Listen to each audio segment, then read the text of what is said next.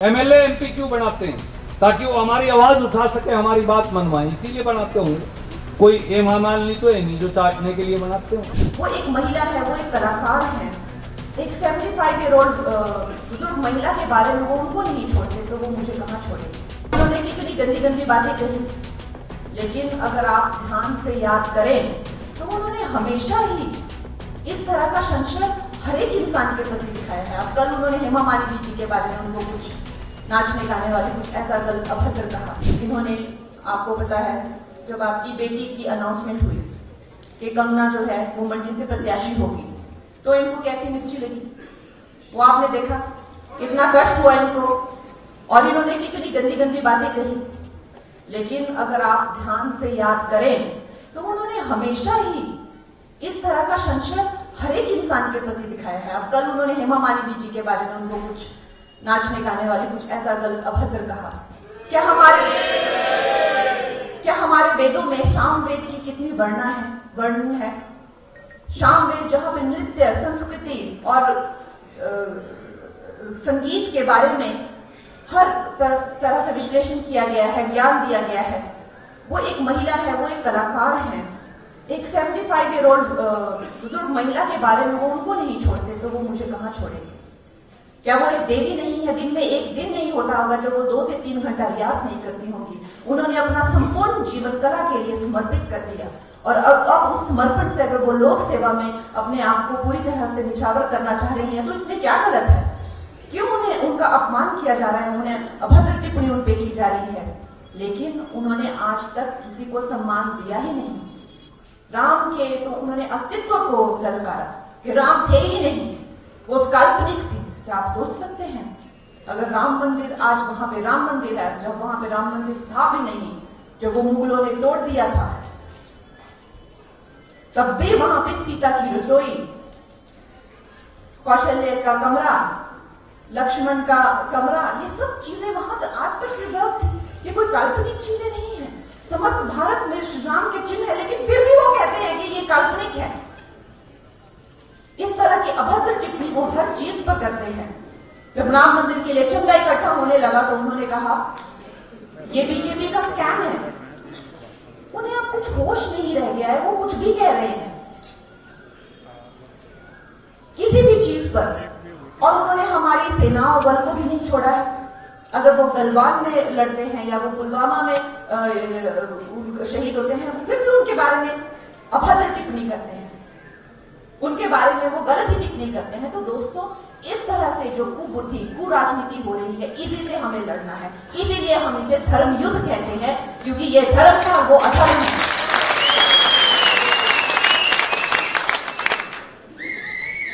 हमारी जो पार्टी है, उसका सबसे बड़ा धर्म है राष्ट्रवाद। और ये जो राष्ट्रवाद का जो हमारा धर्म है, ये हमें सर्वोपरि है। और इसी का ये एक युद्ध है, और हम युद्ध क्षेत्र में हैं। दोस्तों, मेरे बारे में इन्होंने चाहे किसी भी तरह की अभ्यर्थ टिप्पणी की हो, लेकिन मैं एक बात जानती हूँ कि जो हमारी जो मंडी की जो लड़कियाँ हैं, हमारी जो पहाड़ी लड़कियाँ हैं, वो उनमें बहुत, वो बहुत ही दमदार है और उनमें बहुत ज़्यादा हिम्मत है और जोश है।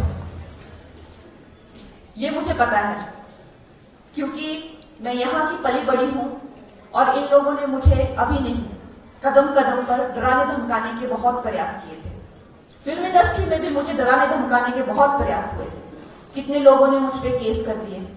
जब मैंने उनकी पोल पट्टियाँ खोलनी शुरू की उन्होंने मुझे जेल में डालने की कोशिश की। उसके बाद जब मैंने मुझमें राजनीतिक चेतना आई और मैंने उसके बारे में हर एक इंसान राजनीति करता है जो वोट देता है वो राजनीति करता है। जब मैंने अ, अ, किसी भारतीय जनता पार्टी को अपना उनका पक्ष लिया, तब इन्होंने मुझे डराने दिया इन्होंने मेरा घर तक तोड़ दिया। जगह जगह इन्होंने मुझे डराने धमकाने की कोशिश की। दोस्तों लेकिन मैं कभी नहीं डरी। क्यों? क्योंकि मैं हुई पहाड़ी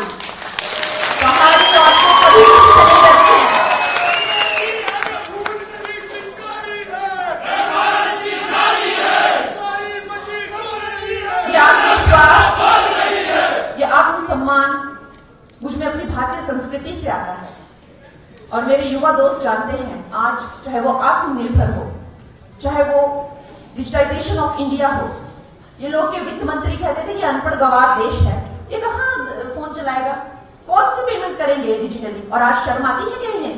देखिए, हर माता बहन के हाथों में फ़ोन है। मज़ाक उड़ाते थे ये। हमेशा इनकी जो इकोनॉमी है, अर्थव्यवस्था है, वो हमेशा बड़ी अर्थव्यवस्थाओं पर निर्भर रही है। लेकिन आज देखिए, पूरे विश्व में मंदी चल रही है। क्षेत्रीय युद्ध हो रहे हैं, लेकिन भारत की अर्थव्यवस्था आगे ही बढ़ती जा रही है। इन लोगों ने कभी भी भारतीयों को, इन्होंने हमेशा नीचा ही दिखाया है। ये हमारे प्राइम मिनिस्टर हैं जो कि भारतीय कपड़े से लेके, भारतीय खान पान से लेके, भारतीय ट्रेडिशन से लेके और भारतीय क्षेत्रों से लेकर हर चीज़ भारतीय आत्मनिर्भर बनाते हैं। और हमें आत्मनिर्भर होने के लिए प्रेरित करते हैं।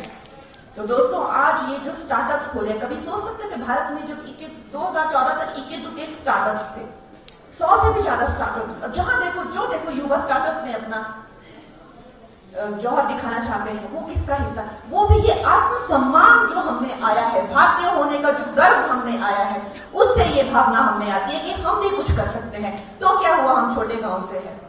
तो क्या हुआ हम छोटे क्षेत्र से तो क्या हुआ अगर हमें इंग्लिश नहीं आती?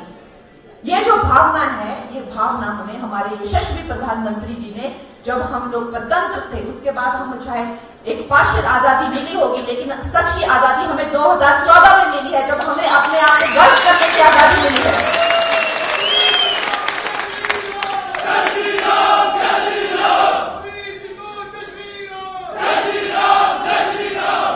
मैं अभी ये जो पूरा क्षेत्र है ये आप लोगों के हवाले करूँगी क्योंकि मेरे सत्रह मंडल हैं। बहुत ज़्यादा जिम्मेदारियाँ मुझे दी गई हैं। बहुत जगहों में मुझे भेजा जाएगा और मैं पूरी निष्ठा से अपनी तरफ़ से हर सब कुछ करूँगी। लेकिन मैं एड़ा बता भाई ये मेरा एरिया सुंदरनगर सरगा सब सबको हंस मारी लेना।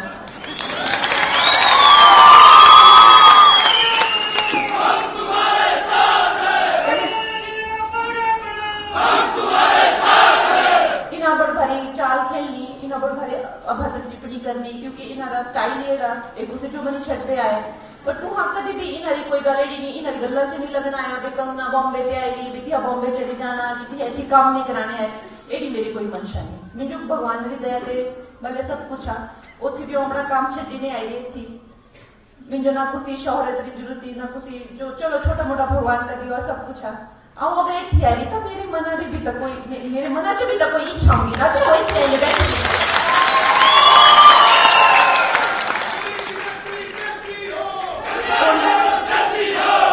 वही जगह हो, अगर जगह सोचो, अपने आप जो सोचो। एक जगह मुझे सफलता इतनी जगह क्या मेरी तो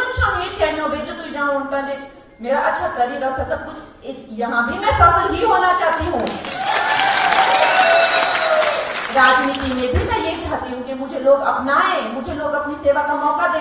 और ये तो भी एक ही टर्म देनी तो हम जो बार बार लेने तो हमें टर्म तुम्हारी सेवा करने है। मेरे भाई साहब ना पकड़नी नहीं हो बात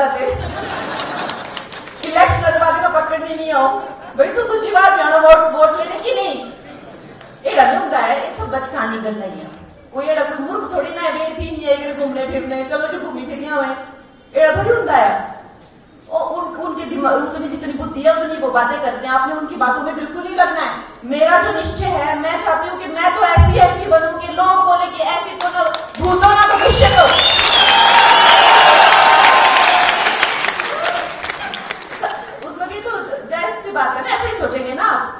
तो मैं भी ऐसा ही सोचती हूँ। मेरा भी यही निश्चय है मेरा भी यही मन है। बस अब आपने मौका देना है। मैंने आपको अपने अपना निश्चय बता दिया अपना मन बता दिया। अब आप लोगों ने पूरा मेरा साथ देना है और मुझे जो है विजय कराना है। तुम आगे बढ़ो। हम तुम्हारे साथ हैं। मोदी जी